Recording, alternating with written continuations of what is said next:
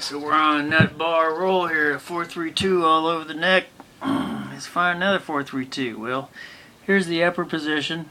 So basically, here's your four. We'll just do the four. Everybody knows the Yngwie linear arpeggios by ear. But they don't know where they are on the neck. That's the thing. So I'll just give you a little ear candy here. Let's do it again.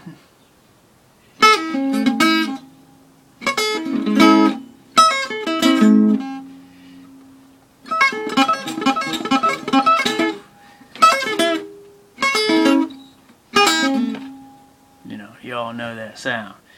So those are your three reference points for the four bar, for the number four chord.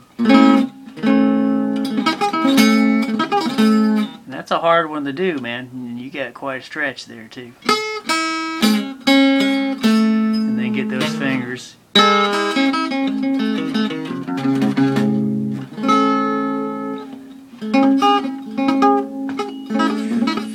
then practice holding it down there and doing it.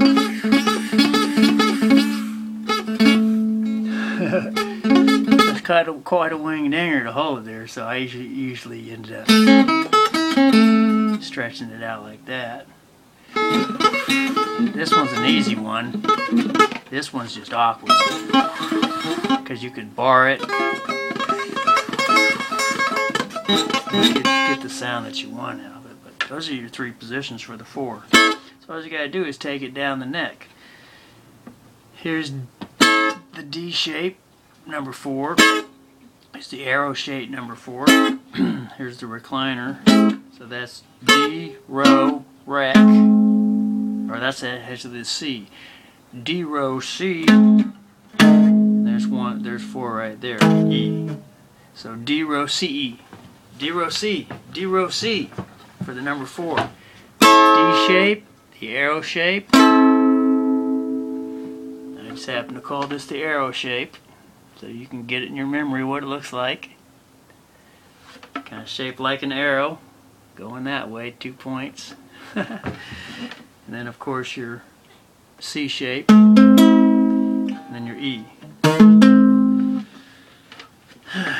So we can take it down the stairs like that, and we can go four, a D. Shape or V shape for a three. Three, two,